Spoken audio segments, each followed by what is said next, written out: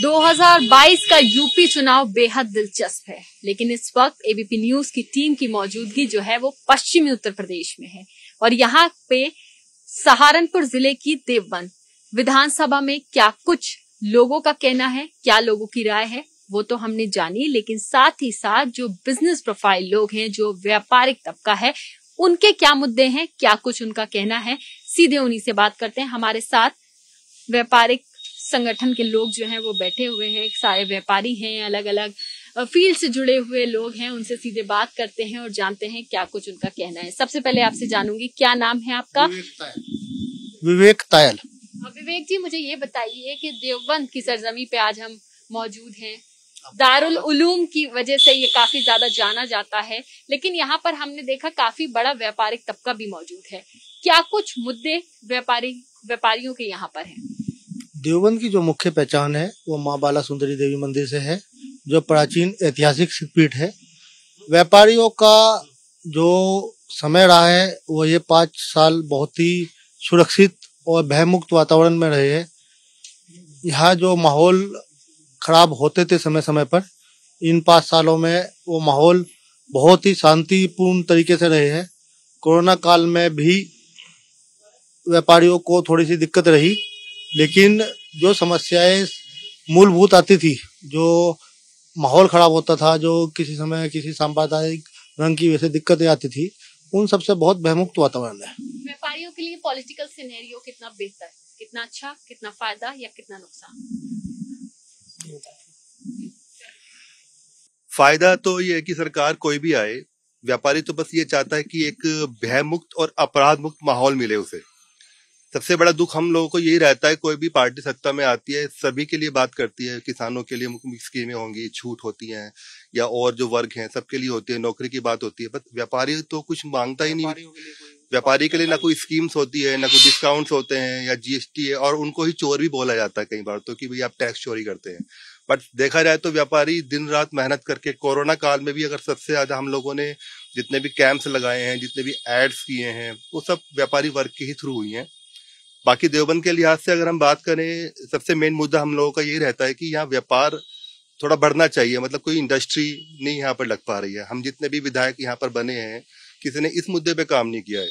अब बाकी आसपास के आप कस्बे, शहर देखिए, नगर देखिए, सभी जगह नए व्यापार खुले हैं, फैक्ट्रियाँ डेवलप हुई हैं।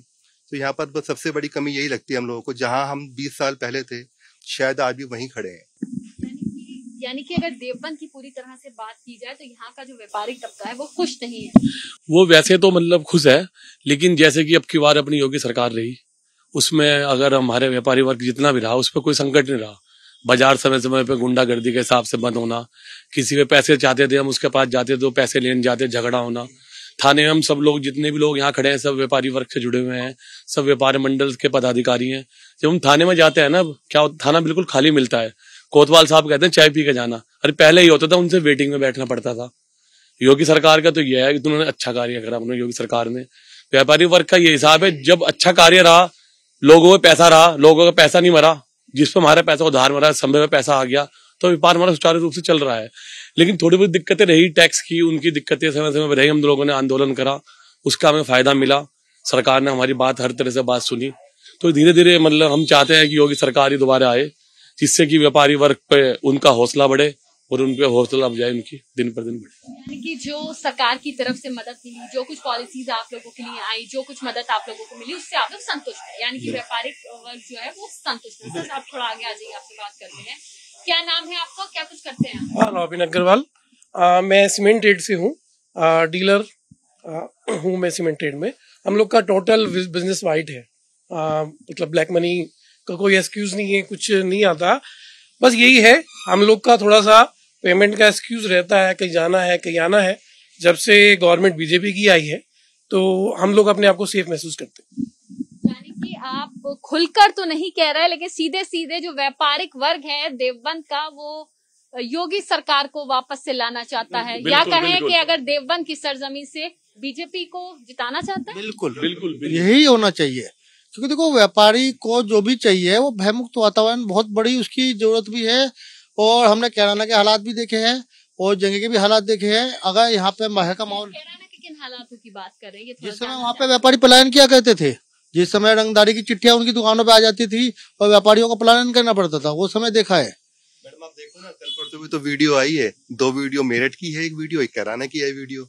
खुले हम बोल रहे हैं हम लोग मेहनत से नहीं घबराते। हम लोग गुंडागर्दी से घबराते हैं। और गुंडागर्दी नहीं हो तो हमसे कितना ही काम करा लो। और ये देश व्यापारी चला रहा है, चाहे छोटा हो, चाहे बड़ा हो। कोई भी सरकार आती है, वो व्यापारियों के हित में कोई भी ऐसा कार्य नहीं करा आज तक कि जिससे व्यापारी लोग खुश रहे। सबका टैक्स माफ़ होते हैं, सबकी वो, सबके बिजली के बिल माफ़ होते हैं स्कीम आती है, लेकिन कभी भी कोई भी सरकार व्यापारी के, अब कोरोना काल हुआ सबका बिजली के बिल माफ़ हुए सबके टैक्स माफ़ हुए रिबेट मिली लेकिन व्यापारी वर्ग को कुछ नहीं मिलता। लेकिन लोन की किस्त थी सर एक एक सवाल यहाँ पे ये है कि व्यापारिक जितना भी तबका है जो व्यापारी है उसमें अलग अलग धर्मों के लोग होंगे। सभी का रुझान इसी तरफ़ है या रुझान जो है धर्म के नाम पर बढ़ भी गया नहीं नहीं धर्म के नाम पे देखो व्यापारिक अब हर चीज़ में अलग बात होती है ना अगर आप व्यापारिक तबके पे आ रहे तो व्यापारी को क्या चाहिए? सुरक्षा शांति सद्भाव वो सब चीज़ें मिल रही भाई, थोड़ी चीज़ें है कि मान लो कोई चीज़ हमें टैक्स में रिबेट चाहिए, हमें लोन में रिबेट चाहिए, हमें इलेक्ट्रिसिटी में रिबेट चाहिए, वो सब सरकारें के हम अपने माध्यम से सरकारों को पहुंचाते रहते हैं, वो होता रहता है। लेकिन जो मुख्य चीज़ है किसी भी व्यवसाय को सुचारू रूप से चलाने के लिए, वो नंबर वन वही है कि भयमुक्त वातावरण हो, बिल्कुल साफ़ सुथरा वातावरण हो, वो चीज़ें मिल रही है। कुछ चीज़ें जीएसटी में कॉम्प्लीटेड है, लेकिन वो चीज़ें नंबर एक में जैसे रोबिन भाई ने कहा कि भाई व्हाइट में उनका सारा काम है। तो हर हर व्यापारी का हर चीज़ बिल्कुल नंबर एक में आ जाए उससे कोई समस्या ही नहीं है। सर एक और चीज़ पूछना चाहेंगे कि यहाँ पर देखा गया कि असदुद्दीन ओवैसी ने जो यहाँ की मदनी परिवार है उनसे कैंडिडेट अपनी पार्टी से उतार दिया है। तो क्या यहाँ का जो मुस्लिम वोट बैंक है वो उनकी तरफ़ हो जाएगा? या फिर जैसा 2017 में रहा था उसी तरह से कुछ। मतलब हमारा कहना तो ये है कि ये जैसे पूर्व स्थिति थी वैसे ही रहेगी क्योंकि ओवैसी साहब का अभी वो स्टैंड नहीं है यूपी में। अभी आई बी थिंक उनको मेहनत करनी पड़ेगी। बाकी तो मुस्लिम वर्ग समाजवादी पार्टी के साथ ही रहेगा या बाकी जैसे भी उनका इंटरेस्ट होगा। बाकी ये कि काफ़ी जगह पूरे उत, उत्तर प्रदेश में देखी योगी जी के साथ मुस्लिम वर्ग है भाजपा के साथ भी। क्यों जिन लोगों को मतलब लाभार्थी जो लोग हैं क्यों मेरी दुकान पे छह लड़के हैं जिसमें तीन मुस्लिम हैं उन्हें लाभार्थी मिला। तीन के तो मकान बने हैं किसका राशन कार्ड बना है। तो उन लोगों से बिल्कुल मेरी फेस टू फेस बात हुई है। तो वे लोग अपने मज़हब की किताब पे हाथ रख के मेरे आगे कसम खाने को तैयार है। कह लगा हम वोट देंगे तो भाजपा को देंगे। बात मुद्दा होने मुद्दा उन, लो, उन लोगों ने करा। उन्होंने ये देखा कौन सी जाति से है मुस्लिम से या कैसे है। उससे मुस्लिम को व्यापार भी मिला यहाँ पे बहुत ज़्यादा। तो जो मैंडेटी हम लोगों की होती है कि मुस्लिम के साथ ना काम करें अब ये हमारे मन में डर निकल गया कि मुस्लिम के साथ काम करना हमारा पैसा मरेगा नहीं क्योंकि सरकार हमारे साथ है। तो हम उसके साथ काम करते हैं हमारा व्यापार भी बढ़ रहा है। व्यापारी वर्ग कोई भी हो, उसको चाहता है कि वो अपना व्यापार सुगमता से चलाता रहे। कोई दिक्कत ना है किसी भी प्रकार की। इस सरकार के अंदर इतना तो महसूस हुआ है, खैर।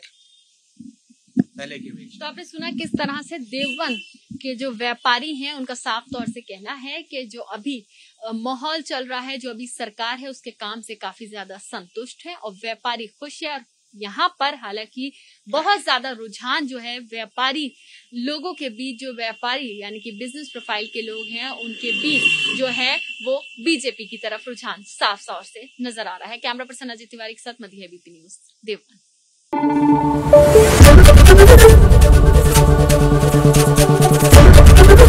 एबीपी न्यूज़ आपको रखे आगे।